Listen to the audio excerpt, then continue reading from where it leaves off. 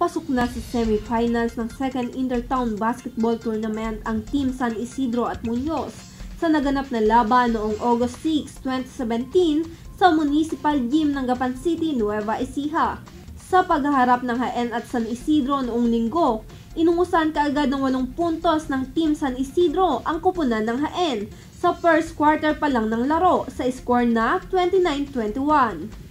Pagdating ng second quarter ay hindi pinabayaan ng Team San Isidro na mabawasan ng kalaban ang kalamangan ng kanilang kupunan. Nagtapos ang second quarter sa score na 53-44. Sa third quarter ng laro ay bumaba na lamang ng 6 na puntos ang kalamangan ng Team San Isidro kontra sa Team HN sa score na 76-70. Sinubukan mang habulin ng Team HN ang kalamangan ng Katunggali ay nanaig pa rin ang lakas at ligsi ng Team San Isidro at nagtapos ang laro sa score na 111-102 pabor sa San Isidro. Sumunod na sumalang sa basketball court ang Team Muñoz kontra sa Team San Jose. Sa unang bahagi ng laro ay halos ayaw maghiwalay ng score ng magkatunggaling kupunan dahil sa tindi ng opensiba at depensa ng bawat team. Ngunit sa pagtatapos ng first quarter ay lumamang pa rin ng 5 puntos ang Team Muñoz sa score na 28-23.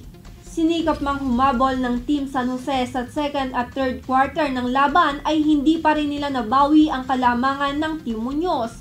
Ngunit sa huling bahagi ng laro ay nagawa pa rin mapababa ng Team San Jose sa tatlong puntos ang lamang ng Muñoz sa score na 97-94.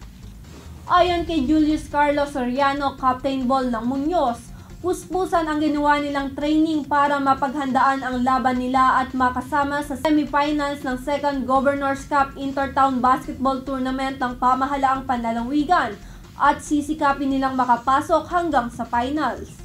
Nagpapasalamat ito sa lahat ng mga sumusuporta sa kanila at lalong-lalo na kay Governor Sarina Cherry Umali at kay Vice Mayor Doc Anthony Umali. Kuskusan po yung paghahanda namin sa training.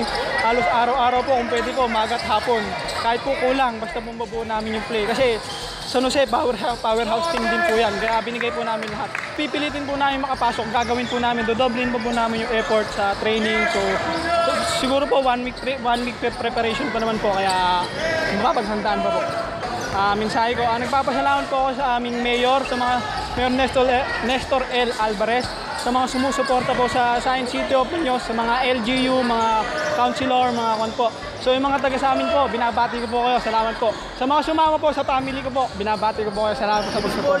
Uh, pinapasalamat, pinapasalamatan ko po ang ating buting gobernador, uh, Governor Cherry Umali, at uh, tsaka po yung si Vice Mayor ng Abaton, si Doc Anthony Umali.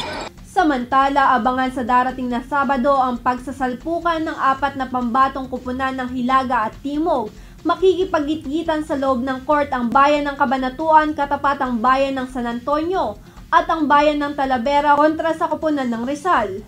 Ang dalawang kupunan na mananalo ay siyang aabante at mapapasama para makumpleto na ang mga manlalaro sa semifinals ng Second Intertown Basketball Tournament 2017. Para sa Balitang Unang Sigaw, Pia Sagat. Unang Sigaw.